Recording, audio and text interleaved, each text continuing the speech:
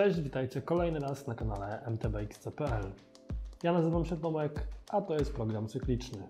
Zapraszam na porcję świeżych newsów z kolarskiego świata.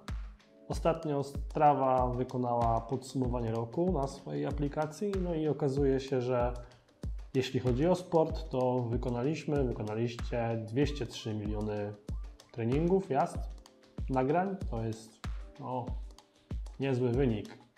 Podsumowując inne statystyki, zanotowano 7,3 miliarda nagranych kilometrów. To jest e, dystans, który jest, wystarczyłby prawie, żeby dojechać do Plutona. Nieźle. A do tego zostało nagranych 69 miliardów metrów przewyższenia. Co ciekawe, najbardziej popularnym dniem w roku był 21 maja. Wtedy było najwięcej nagranych aktywności. Z wirtualnej rzeczywistości sprawy przenosimy się do kraju, gdzie Bike Marathon zapowiedział prezentację swojego kalendarza. W tym roku będziemy mieli 10 edycji, w tym dwie będą firmowane serią UCI, a do tego jest jedna nowość, bo będzie Ultra Bike Marathon. Jeszcze nie wiemy gdzie, jeszcze nie wiemy kiedy dokładnie, ale no będzie tam dystans 100 km.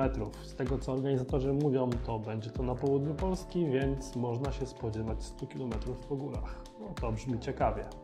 Zostajemy dalej na naszym polu i to takim naprawdę naszym, bo chciałem Wam powiedzieć, że dzisiaj o północy kończymy naszą coroczną ankietę. Także jeśli jeszcze jej nie wypełnialiście, to w opisie tego filmu znajdziecie link do ankiety i zapraszamy serdecznie do jej wypełnienia. Jeśli już ją wypełnialiście, no to dziękujemy bardzo, bo dzięki tym e, głosom i wynikom tej ankiety rysuje się jakiś obraz, e, obraz e, kolarstwa w Polsce. Także zachęcam do głosowania, kto jeszcze nie zagłosował. I to by było na tyle, jeśli chodzi o dzisiejsze newsy. Dzięki za oglądanie, dzięki za poświęcenie czasu. Pamiętajcie o tych tam łapkach i subskrypcjach. Na dzisiaj to wszystko. Do zobaczenia w następnym filmie. Cześć!